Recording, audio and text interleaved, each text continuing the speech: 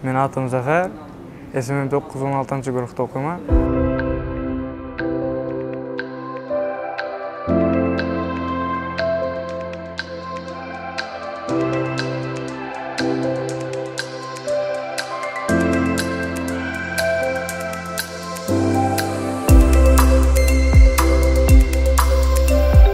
Есімім курсын тәләшімден мақсат көп бұл тапшы маркетолог көп етішеш.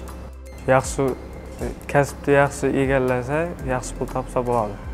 SMM menejer bo'lib chiqaman. Keyin asta-asta o'qitim oshib, marketolog darajasiga chiqaman. Marketolog brendni ishlaydigan odam, SMM menejer brendni tanitib, ijtimoiy tarmoqlardagi sahifalarni yuritib beradi. Men og'am SMM 9 guruhni bitirmasidan oldin bir proyekt olgan. Hozir shuni orqasidan 5-6 proyekti bor. Daromadi bir proyektdan 200-250 dollar. Men SMMni oson deb o'ylab qo'ydim, lekin unchalik oson ish emas.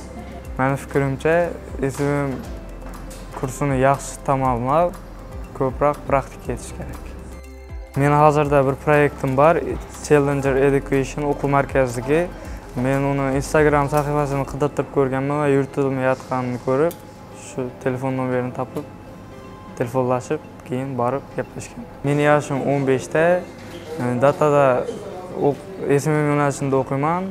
Dataga 3 kun kelaman. E, qolgan kunlari IELTS tayyorlanaman. IELTS olib, Koreyaga marketolog yo'nalishi bo'yicha institutga topshiracaqman va shu yoqda o'qiyapman. Men bo'sh vaqtimda SMM kursini kelaman, undan tashqari IELTS bilan IELTS olish uchun tayyorlanaman.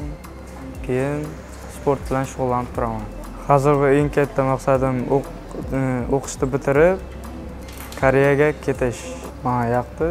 Ayniqsa Boburbek ustozimizni dars o'tishlari, keyin datada atmosfera o'zini ajab etadi menga yoqadi